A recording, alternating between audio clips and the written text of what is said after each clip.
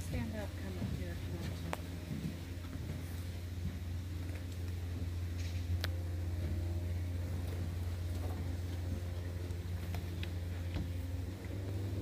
Estimated fifteen thousand black bears in the state today. They're omnivores, so they do eat meat and vegetation.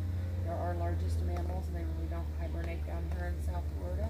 They, um, sleep a little extra for a week or two, and after that, they're up and at it again. Um, there, but, uh, I've had about dozen black bears wandering through property over the last three or four years. The largest one I've seen out here so far is about five to six hundred pounds. Standing on all fours, his back will hit my chest, upright, he's at least eight foot tall.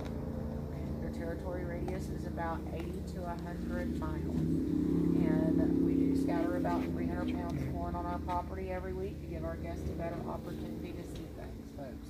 We operate on private land, none of that property is fenced, we're surrounded by the Big Cypress Preserve, which is a million acres of preserve. The Only